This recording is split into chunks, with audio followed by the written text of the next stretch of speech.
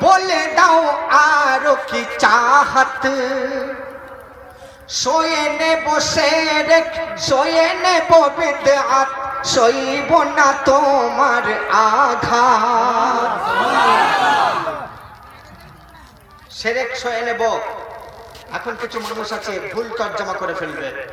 বলবে, সেরেকের গুণা মাফ নেই। আর আসলাম হাবিব বলে যাচ্ছে কি, আল্লাহ নাকি সেরেক, শোয়ে নেবে। একটু বুঝিয়ে দিই। বন্ধুরা, আল্লাহর সাথে কাউকে শরিক করলে তাকে সেরেক করা বলে। তাহলে এখন যারা আল্লাহর সাথে শরিক করছে, বলুন না, তার মাথায় কি কর কর করে বাজ পড়ছে আপনি আমি দেখতে পাচ্ছি? তাহলে আল্লাহ সইছে কি সইছে না?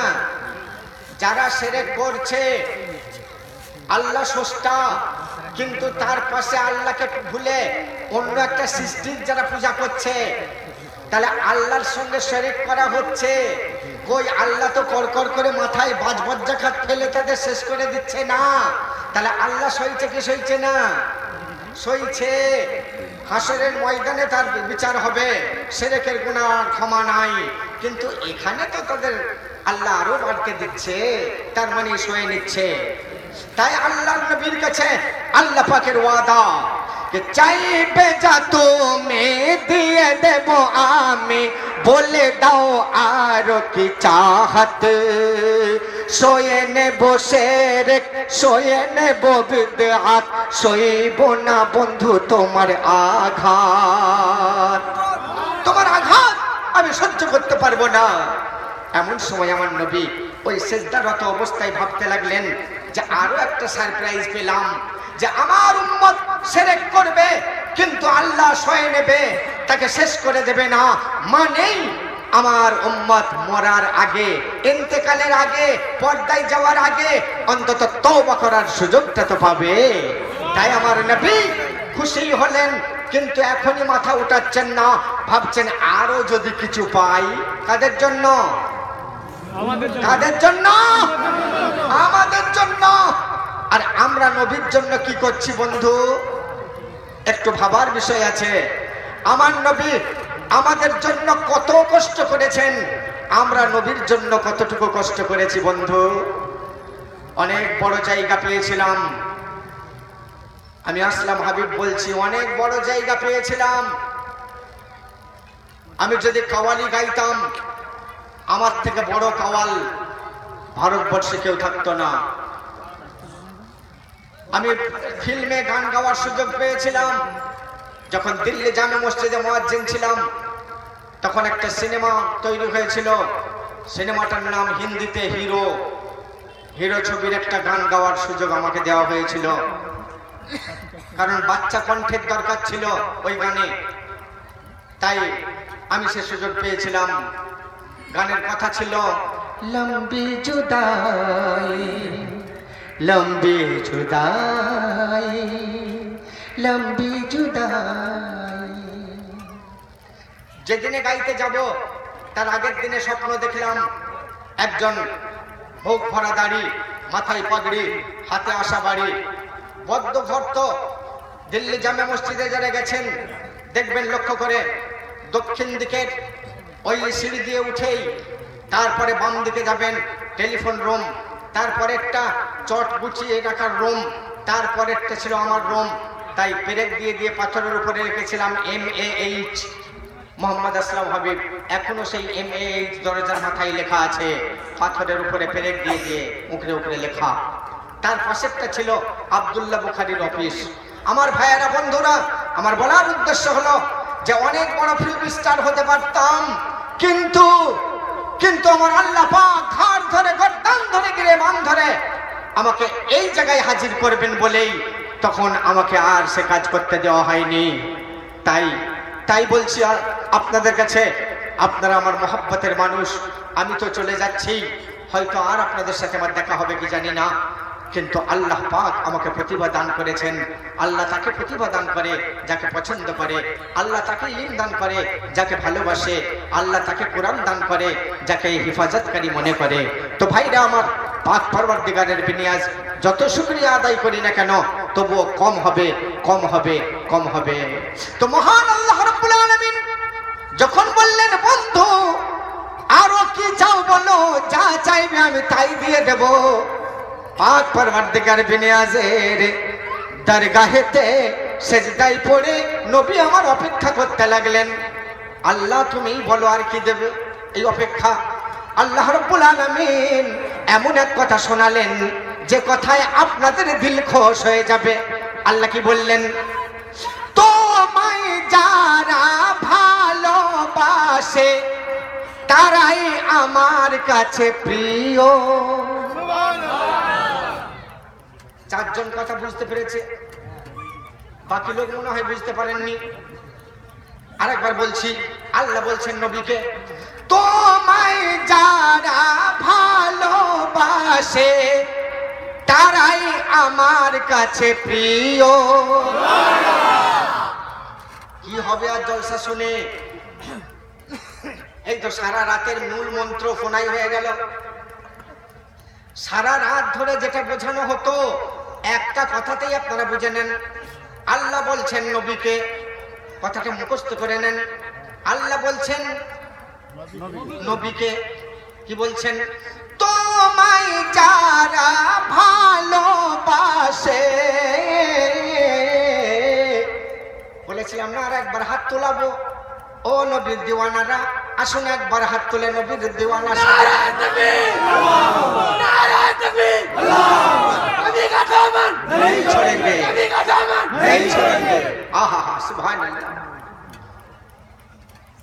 তোমায়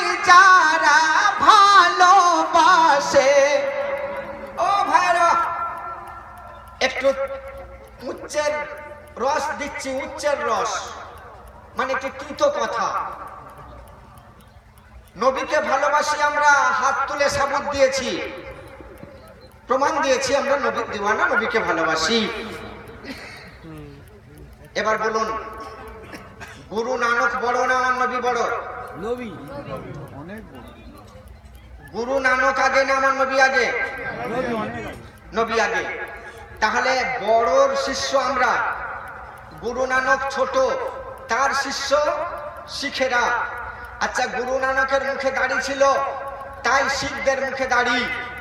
গুরু নানকের মাথায় পাগড়ি ছিল, তাই তার শিষ্যদের মাথায় পাগড়ি। গুরু নানকের হাতে বালা ছিল, তাই তার শিষ্যদের হাতে বালা। তাহলে ছোটর শিষ্যরা তার গুরুকে অনুসরণ, অনুকরণ করছে।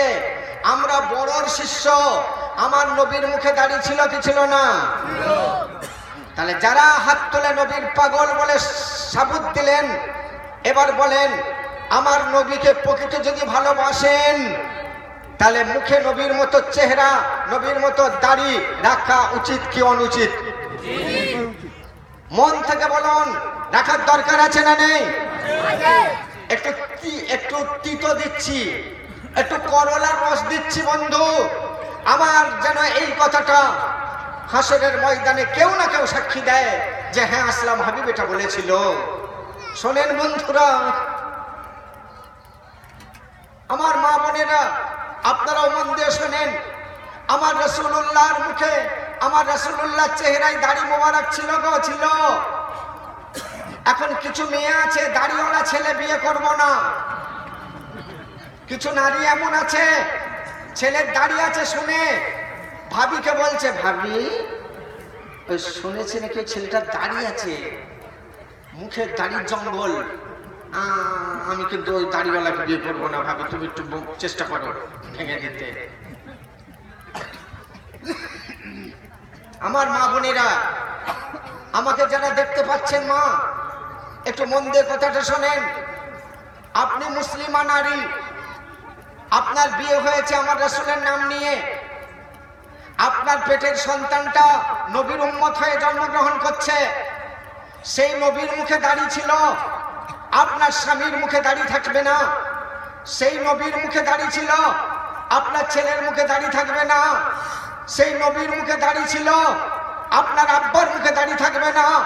সেই নবীর মুখে দাড়ি ছিল। আপনার শ্বশুরের মুখে দাড়ি থাকবে না। তাহলে আপনি কি প্রকৃত মা খাদিজার মতো?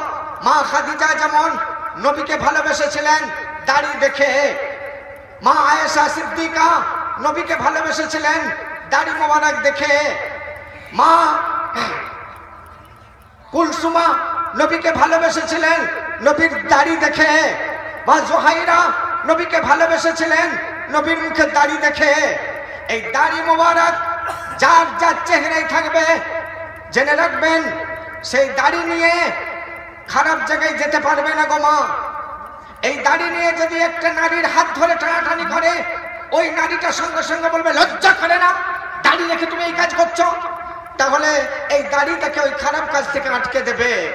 সিনেমার লাইনে দাঁড়াতে গেলে তাকে অন্তত দাড়িতে রোমান চাপা দিয়ে দাঁড়াতে হবে। নইলে লোক বলবে, এই দাড়ি রেখে এই দেখ, সিনেমা দেখতে এসছে। ও আম্মা জানেরা, আপনারা একটু চালাক হয়ে যান, আপনারা একটু হুঁশিয়ার হয়ে যান। যাদের যে পুরুষদের দাড়ি নেই, আপনারা দাড়ি রাখাবার চেষ্টা করুন। শুনুন মায়েরা একটা বাস্তব কথা আপনাকে সেদিনের তুলে ধরি। ট্রেনেতে এক ট্রেনের ডাব্বায় একটা মুসলিম মেয়ে কলেজ থেকে ফিরতে ফিরছিল। ট্রেনের ডাব্বায় একটা সিটে বসে আছে একানে সিট। জানলার দিকে একানে সিটে বসে আছে।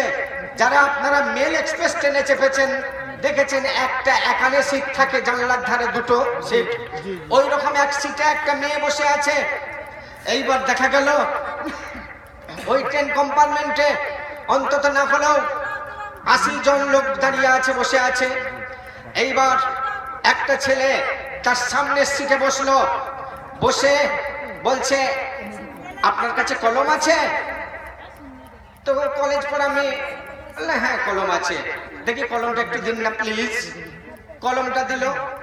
এইবার কলমটা রাখতে গিয়ে তো বলছে ও সরি সরি আপনার পেন মুচকি হাসলো। মেয়েটা কিন্তু হাসলো না। এরপরে বলছে আপনার মোবাইলটা আছে? টাইমটা একটু বলুন তো। তো মেয়েটি বলল টাইম এত বাজে। তারপরে আবার ছেলেটা বলছে "হ্যাঁ, আপনার মোবাইল নাম্বারটা একটু দেবেন? মেয়েটা বলছে কেন? বলছে আরে আপনাকে ভালো লেগেছে। আপনার সঙ্গে কথা বলব। মেয়েটা বলছে না আমি আর মোবাইল নাম্বার কাউকে দিই না। কাউকে দিই না মানে? আমাকে দিন না। কেন, আমি কি ছেলে হিসেবে খারাপ আছি? আপনার অযোগ্য মনে করছেন? তখন মেয়েটা দেখল, এ তো একটা লম্পট চরিত্রহীন মানুষের পাল্লাই পড়েছি। মেয়েটা তখন সংকুচিত করে নিল, সব ব্যাগটা গুটিয়ে নিয়ে তার দিকে না তাকাতে হয়, ঘুরে বসল। এমন সময় সে ছেলেটা তার সিট থেকে উঠে মেয়েটার কাছে দাঁড়িয়ে গেল। দাঁড়িয়ে গিয়ে বলছে, আপনার মোবাইলটা দিন। মেয়েটা বলছে, না। বলছে, কেন দিলে কি হয়েছে? দিন না। বলছে, না, দেবো না। আরে, দিন না রে বাবা, দিলে কি হয়েছে? টানাটানি করছে। মেয়েটা দেখল, বিপদ, সাংঘাতিক বিপদ, থরথর করে কাঁপতে কাঁপতে মনে মনে বলছে, আল্লাহ, আমি, আমাকে তুমি রক্ষা করো, মাবুদ। এইরকম করে অনেকেই ধর্ষিতা হচ্ছে। আমি পেপারে পড়ছি, আজকে কিন্তু সেই জিনিস আমার দিকে চলে আসছে। আল্লাহ, তুমি আমায় রক্ষা করো। বলতে বলতে স্টেশন এসে গেল। স্টেশন থেকে একটা টুপিওয়ালা ছেলে মুখে তার দাড়ি, সে উঠেছে ওই ট্রেন স্টেশনে। স্টেশন থেকে ট্রেনে যখন উঠেছে, এমন সময় মেয়েটা বলছে, দাদাজি, ভালো আছেন? সালাম আলাইকুম। সেটা বলছে, ওয়ালাইকুম আসসালাম।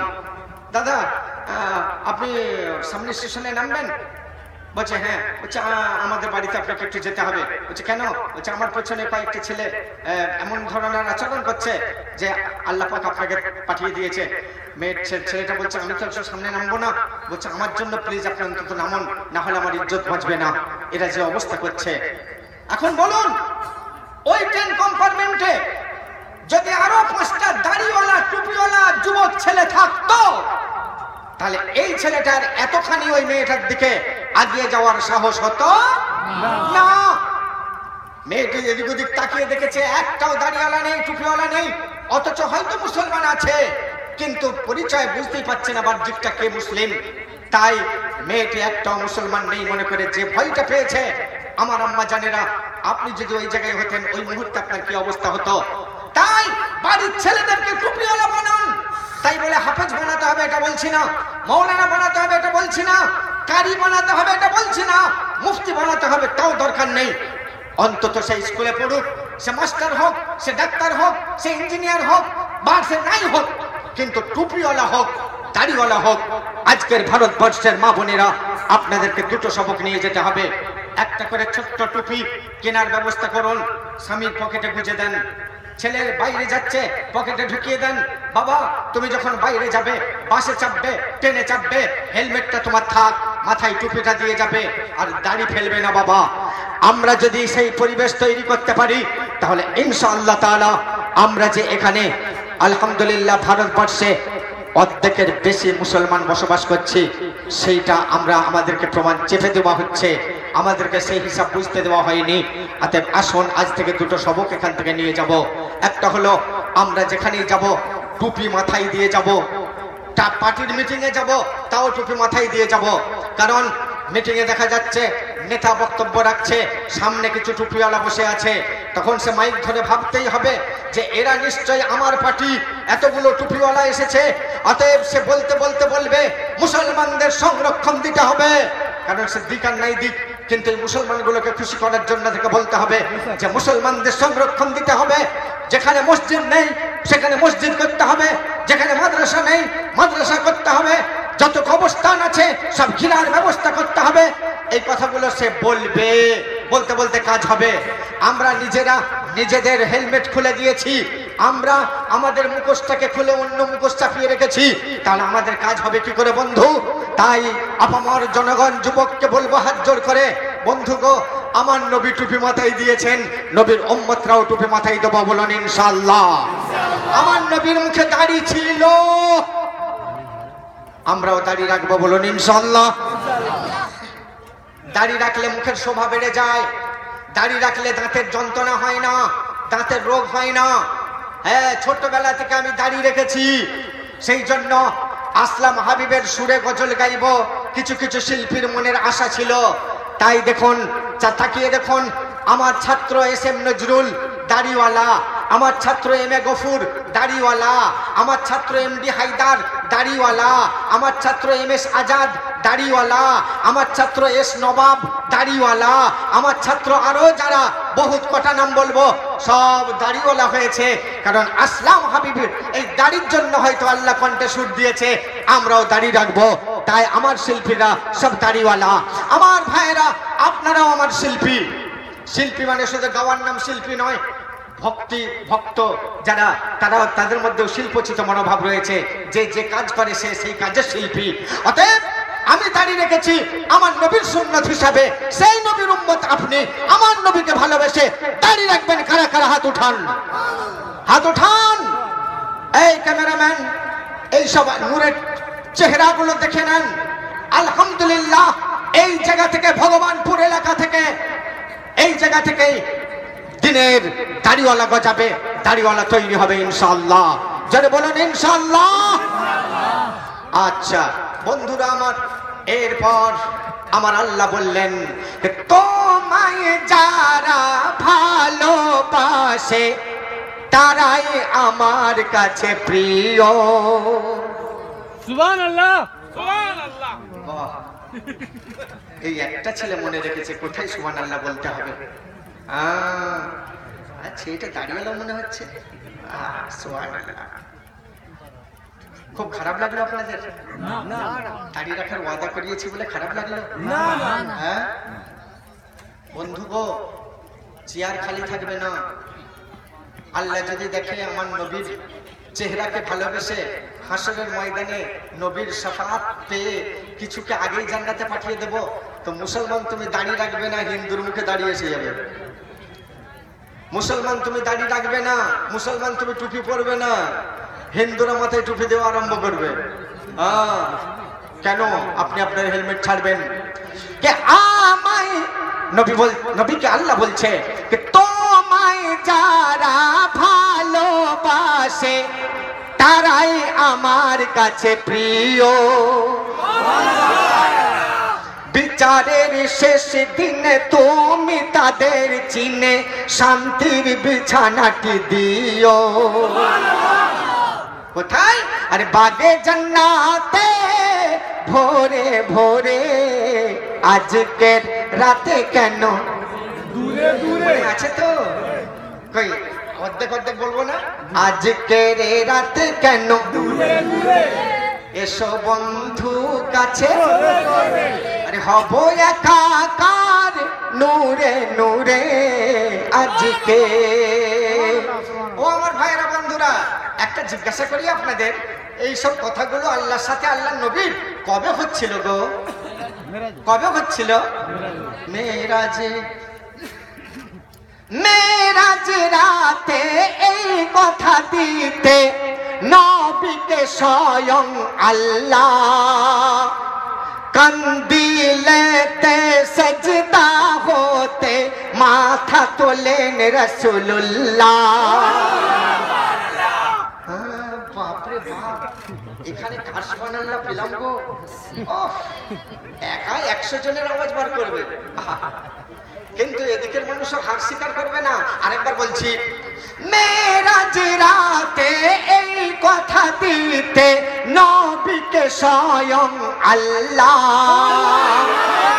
কান্দিলেতে সজদা হতে মাথা তোলেন রসুল্লাহ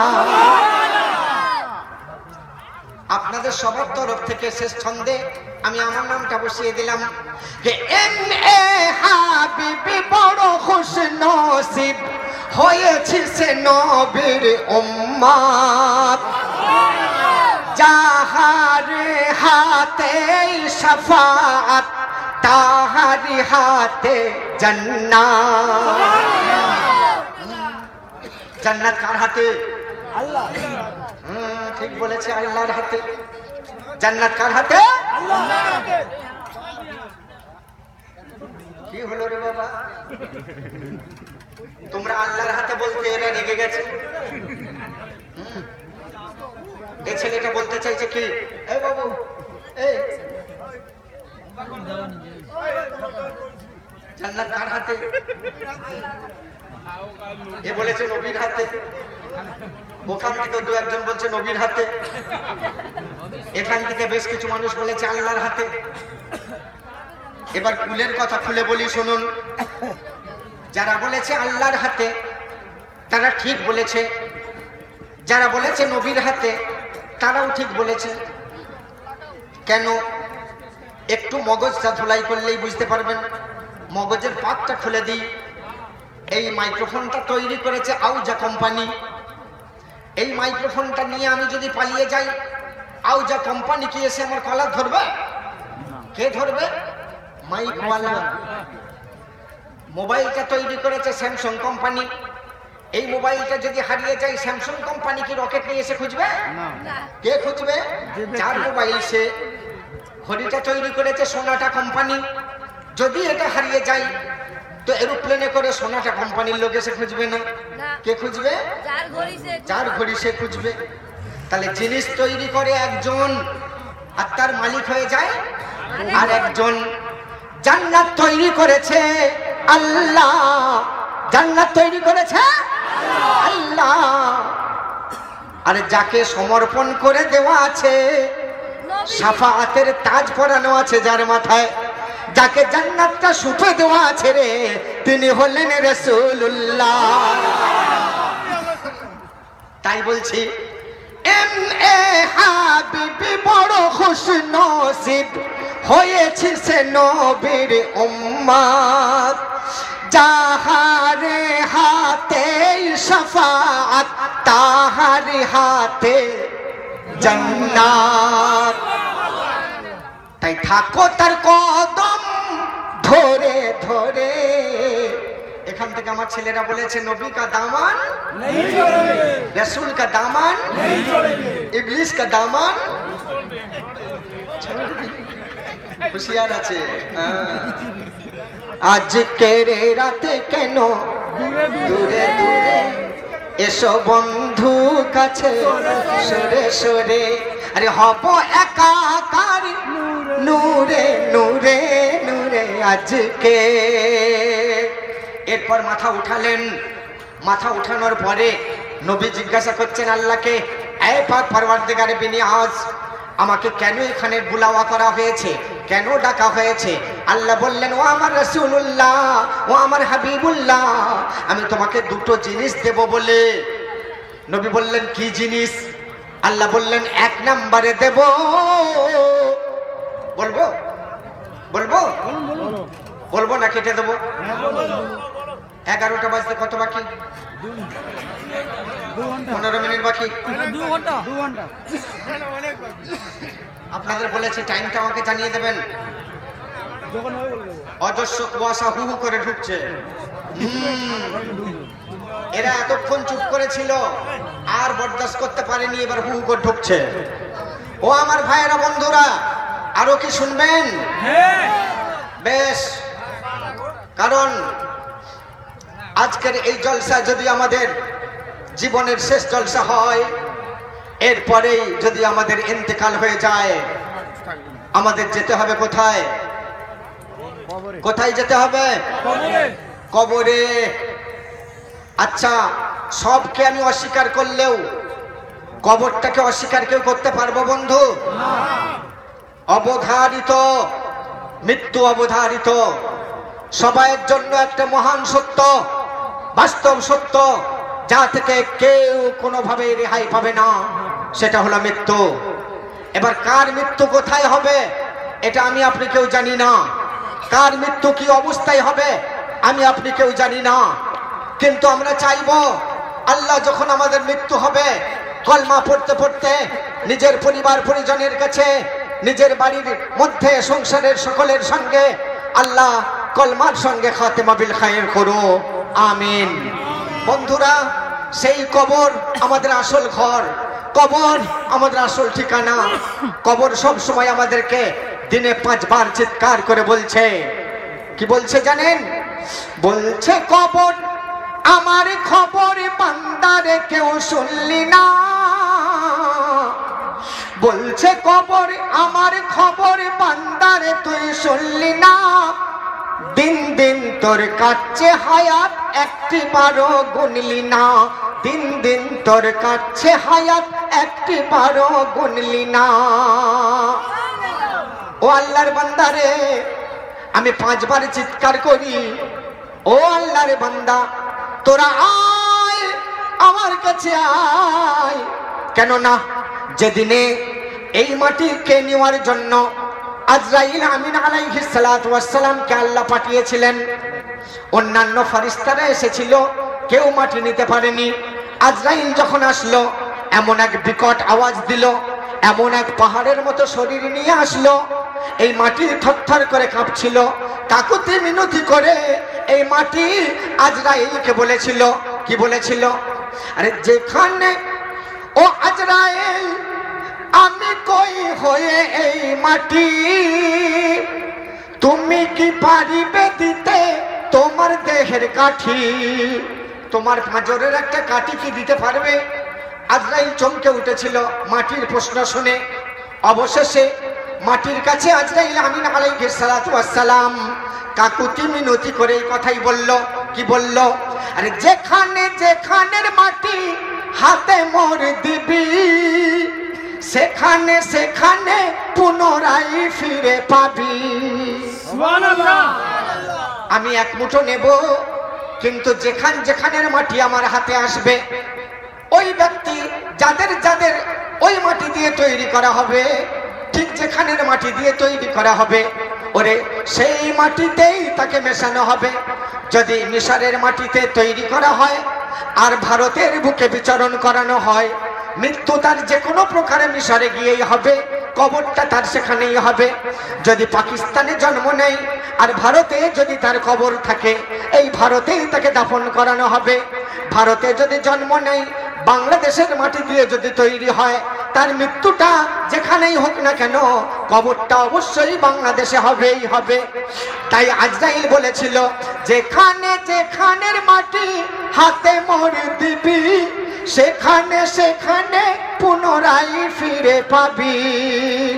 ও আমার ভাই জানেরা ও আমার আব্বা জানেরা আমি দু বছর আগে এসেছিলাম এই জলসায়। এসে দেখেছিলাম খালের ধারে, রাস্তার পারে অনেক মুর্দা শুয়ে আছে, অনেক কবরবাসী শুয়ে আছে। তাদের উপর দিয়ে গরু যায়, কুত্তাও যায়।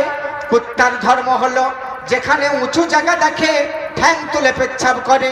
ওই খালের ধারে উঁচু থাকে কবরটা লোকের চোখের আড়ালে, অগচরে কত কুত্তা পেচ্ছাপ করে কেউ জানে না রে। এখানে এক কবরস্থান মোকাম্মাল পার্সোনাল, এক কবরস্থানের প্রয়োজন। তাই এই কবরের কথা বলার সাথে সাথে আল্লাহর বান্দারা নিজের ঘর মনে করে। গতবারের জলসাই বেশ কিছু অর্থ দান করেছিলেন। আজকের জলসাই বলুন আমার ভাইয়েরা আমার আম্মা জানেরা আমার বাপজিরা কে আছেন এই জলসায়? হাজার হাজার মানুষের ভেতরে একজন আল্লাহর বান্দা সর্বার আগে উঠে দাঁড়াবেন। সমস্ত মানুষকে নিয়ে তার জন্য হাত তুলব। কোন আল্লাহর বান্দা আছেন যিনি এক কাটা জমি কেনার পয়সা দেবেন? বাবু কিনা আমার সাথে মুসাফাটা করতে তোমার মন চাই না বা হ্যাঁ। কি নাম? ও ইয়াকা রেডি। করেই রেখেছিল। নগদ কর করে একশো টাকা পকেটে রেখেছিল। আসলাম হাবিবের হাতে দেব। আল্লাহ ওর মনস্কামনা পূর্ণ করুন বলুন আমিন। বাবু টেলিকাস্ট বন্ধ করো। এখন আমার ভাইজানদের জন্য দশ মিনিট দেব দশ মিনিট। কোন আল্লাহর বান্দা কি দেবে?